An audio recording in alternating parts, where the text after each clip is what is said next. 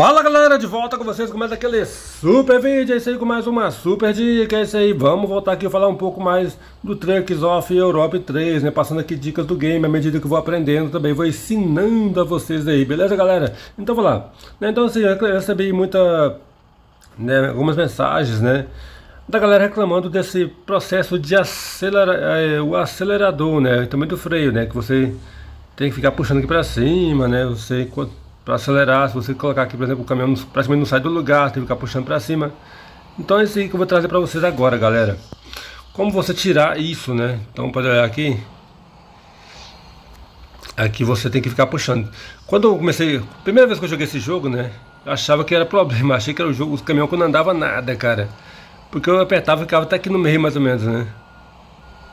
Opa, apertava cada no meio aqui mais ou menos, e aí o caminhão não passava dessa velocidade, ficava aquela coisa devagar. falei, cara, mas que caminhão lento? Né? Mas na verdade você tem que puxar até pra cima para acelerar no máximo, né?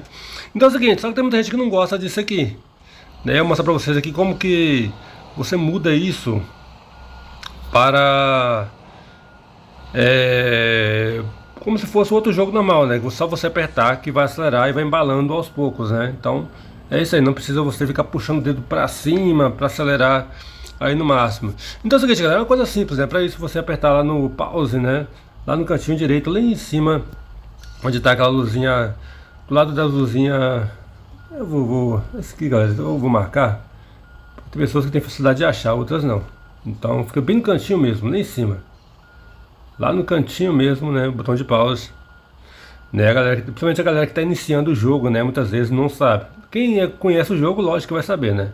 Mas clicou aqui no pause, né? Você vai clicar ali em cima, onde tem armazenar, né? Você vai clicar em definições, né? Do lado de armazenar aqui, definições.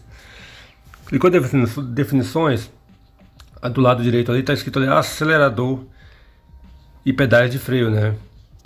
Então tá ali.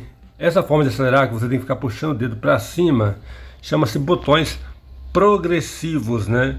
Então por isso tem aqui a, a capacidade dos controladores. Mas enfim, então se você quiser tirar esses botões progressivos e colocar botões normais, é só você colocar aqui botões normais, certo? Isso aqui, aí o caminhão vai voltar. Agora não precisa você ficar puxando o dedo para cima. Colocou esse aqui, você pode voltar lá, que agora não tem essa forma. Só você acelerar aqui, que ele já vai, ele já vai embalar aos poucos, né? Então basta você acelerar que vai embalando aos poucos até ganhar uma velocidade legal.